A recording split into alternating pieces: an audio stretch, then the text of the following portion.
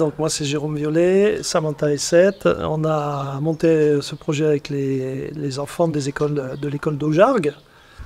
Entre 8 et 10 ans. Voilà. C'est des classes de CE1. Du CE1 au CM2.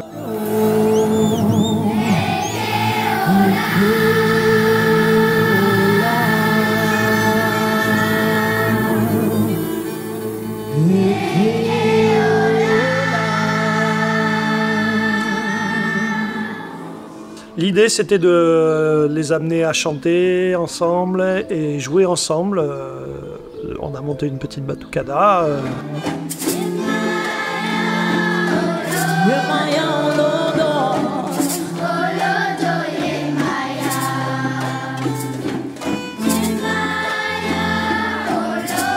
Avec des instruments qu'ils ont fabriqués eux-mêmes l'an dernier. Donc on réutilise les instruments de l'an dernier. avec de la récup, des instruments qu'ils ont fabriqués avec de la récup, que de la récup.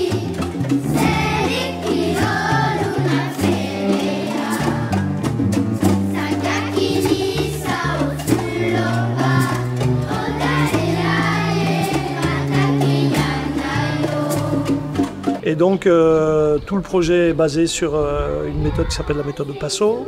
Donc euh, tous les enfants marchent, on a tous la même pulsation et le même premier temps. Du coup, ça nous permet de bien jouer ensemble.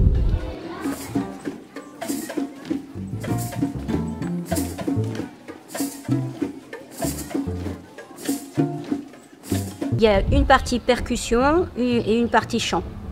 Et ensuite, bah, chaque classe joue euh, une partie percussion, deux autres pendant que deux autres chantent, et on, on varie les postes. Comme ça, tout le monde a joué et tout le monde a chanté.